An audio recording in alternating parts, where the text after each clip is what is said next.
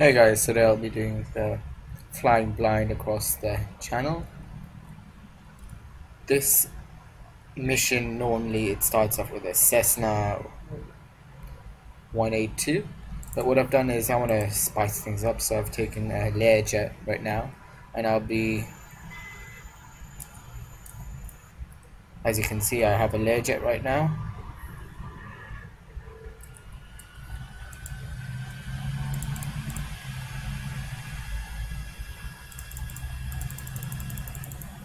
Alright, so I'm just gonna get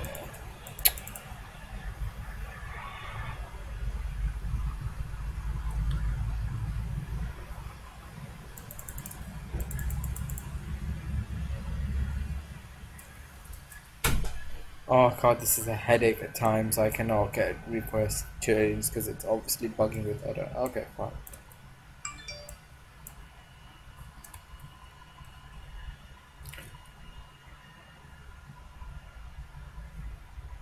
Alright, so we're cleared for takeoff. I'm just gonna take off again normal, keep runway heading.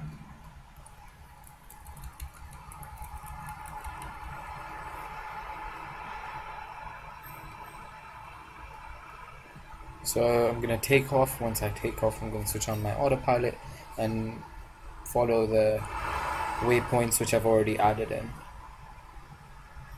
Uh, rotate.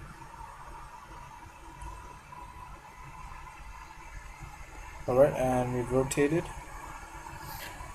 Positive rate, gear up, flaps up. Okay, and my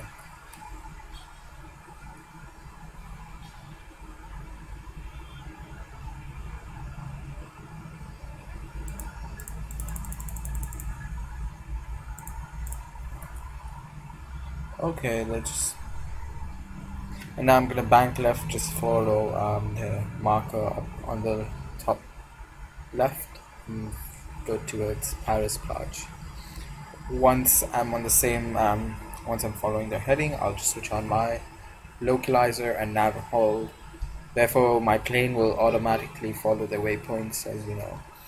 Bring us up to the approach and then from the approach we'll do an ILS on the Learjet okay and let's roll out nice to just stay above the clouds for now because okay I'm just gonna roll out. And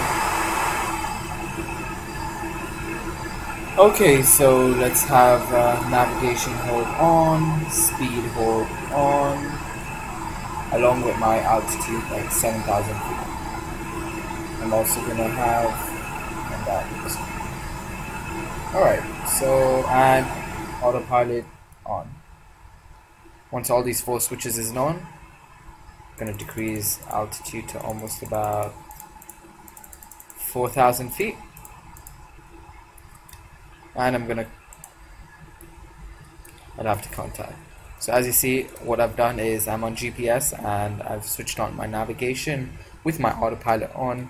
So what I expect to happen now is my plane Learjet shall be following this pink route on navigated on my waypoint all the way to Paris.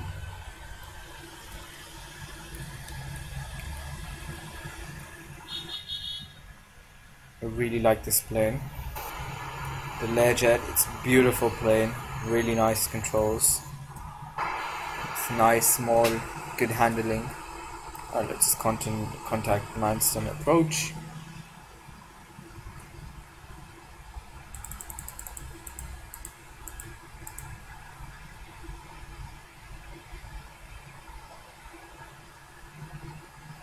Gonna keep my speed under 250.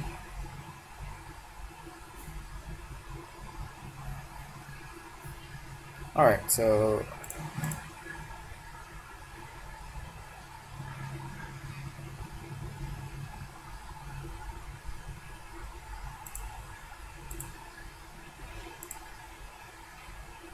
Okay, so I, obviously now she's correcting me for the waypoint as you can see we will we'll be probably intersecting with the uh, ILS so let's just set up radio for ILS right now Okay. So what I'm gonna do now is just check how my approach is gonna be because I I like to look for myself. All right. So we've flown out from L London, and we're going gonna follow this pink waypoint. There's only one waypoint. I can't change it right now. All right. So what I'm going to do around is once I'm about here, they're probably going to vector, vector us out to intercept this glide slope right here. My duty would uh, once I intercept this glide slope with my local with my um, ILS turned on I need to find out the frequency. So it's 110.15 110.15 so in my nav 1 I'm gonna put in 1 1 alright okay fine. It's it's as you can see it's already inactive so don't need to do anything I'll just have to click nav 1 when I'm ready and activate onto approach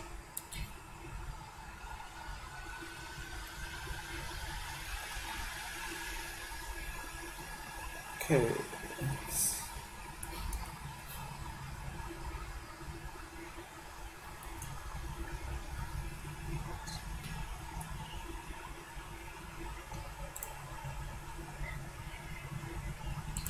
I'm just gonna skip these paths.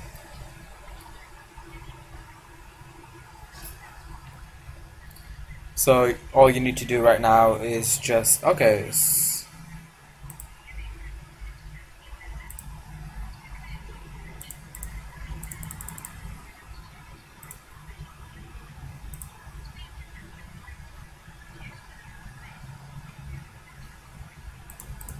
Okay, so I've got as my co-pilot right now has given me all the instructions for an ILS. I'm just gonna follow how I feel like.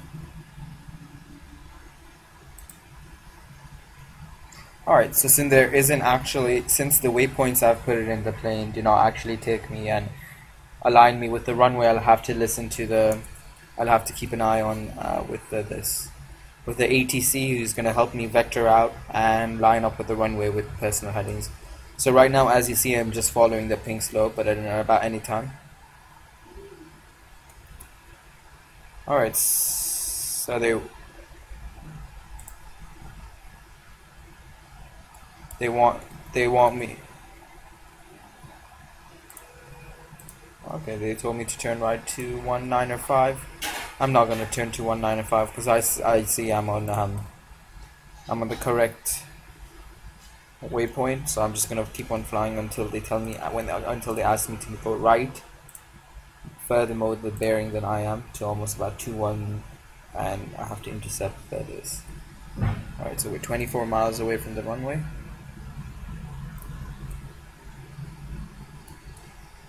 alright turn height so now what I'm gonna do is I'm gonna turn on heading and turn right to 225 so just gonna set 225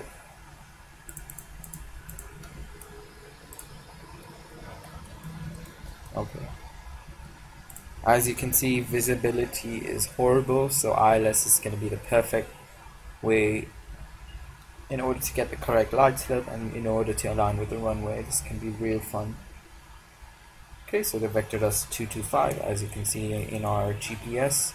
We're probably going to align with this runway as a can. Okay, so you see the glide slope.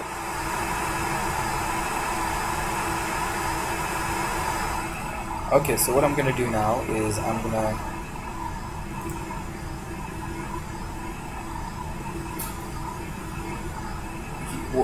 at around this point right there I'll probably alright so now since I know I'm, I'm gonna be flying here I want my plane once it intercepts this glide slope somewhere here my plane is gonna start turn left and do that in order to do that I need to switch on my ILS so let's just switch on the ILS first so first we go to the main panel. We've already inputted them into the nav1. I click nav1 activate. So nav1 audio selector is on and I turn from nav GPS to navigation. As I click GPS, you can see the runway. This is the pink lip and it's exactly perpendicular to us. The green in, in this in this Learjet, the green um, blimps are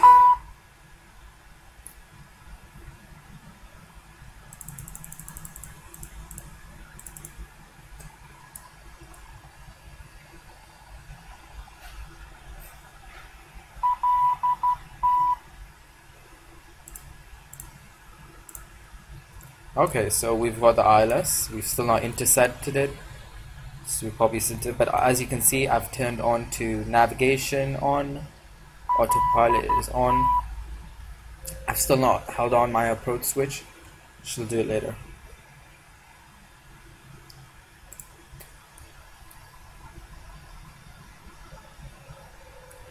Okay. So ILS is on. I've not switched on approach yet. Approach once I've aligned. Okay, any minute now we should be we should be turning. And now click on approach switch, hold on. And let's just wait for the turn.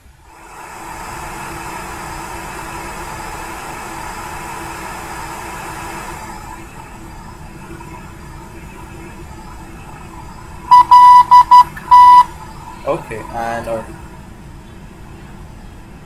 and our plane is now aligning with the runway. As I told you, it's intercepted the localizer, and now it's making the straight in for the runway.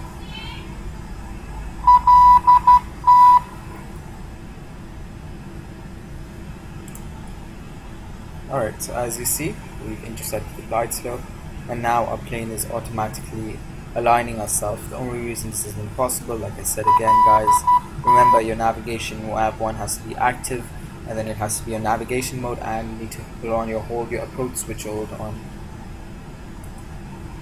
all I need to do take care of now is probably my landing gear my flaps and my speed.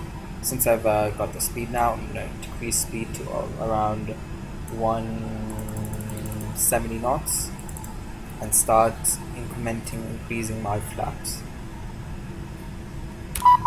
So one notch of flaps are on. You see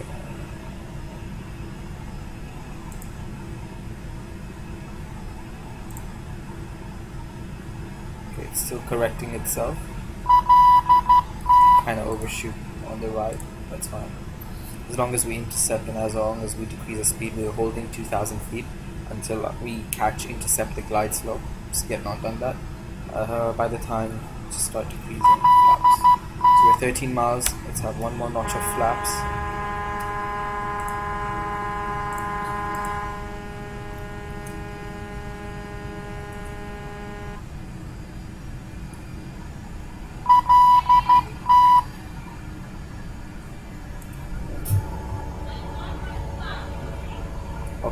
Our landing gear down. So our landing gear is set. We are on 20 degrees flaps down. Not going to increase it yet. Alright, we're on 160, so I can again drop down to about 140 knots.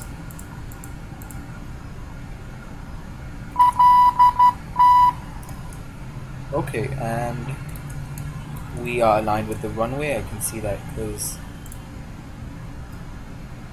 we still have almost uh, once we intercept the glide slope, we'll start decreasing altitude. So right now we're just holding on.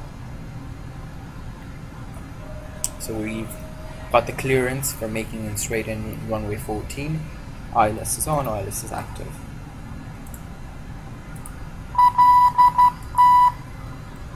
Just setting my yoke.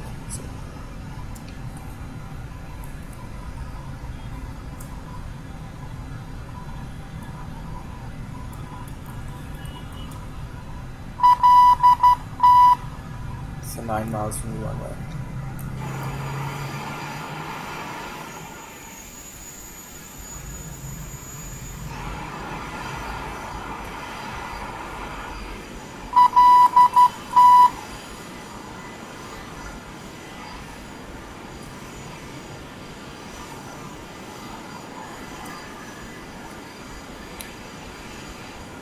I don't like the drag right now, there's too much drag, so I just pushed up.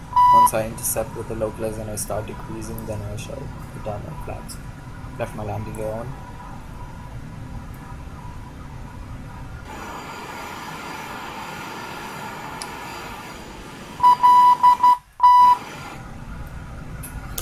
Okay. So Okay, as you see now, the, the, green blimp is coming closer once it uh, intersects with our altitude on hold, it'll start decreasing. So as it passes, and that is this our altitude hold will no longer be on. As you can see, it's dropped, and there we go. We have intercepted the glide slope, as you can see, and both my speed and my sorry my altitude is following the green belt, which is a glide slope. Since we're decreasing now, let me just put on one more flaps.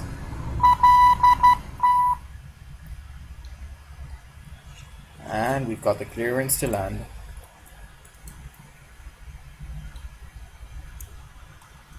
Okay, so we're clear to land. We still have very li little visibility. I still cannot see the runway. But if I want to see if I'm online, I can check this green arrow, which tells me I'm aligned with the runway right now. And I can see I'm following my glide slope, so I'm all fine. Okay, I guess we can, we should, I see land, but still don't see any runway. I can see land right there, but uh, it's, it's pretty foggy outside. So I guess we'll only, okay, one more set notch of flaps. And I landing lights were still on because we did not move above 10,000 feet. I'm just gonna arm my spoilers. Spoilers are armed. And I see the runway right ahead us, right ahead of us. I do see the runway lights.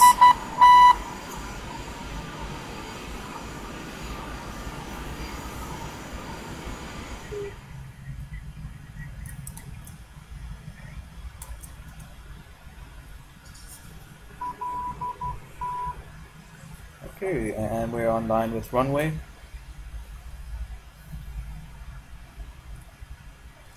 We're clear to land.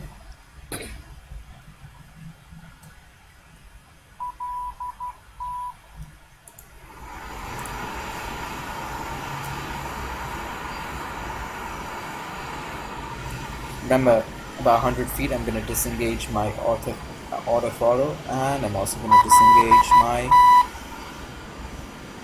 autopilot in order to flare up because ILS does not allow us to flare by ourselves.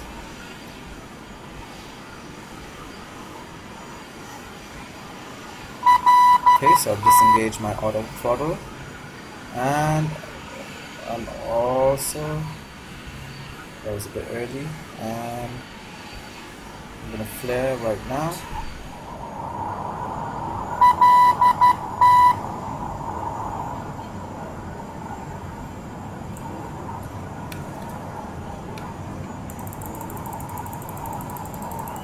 Okay, 60 knots. And I'm gonna disengage my autothrottle and flaps up. And I'm gonna take a right right here on this taxiway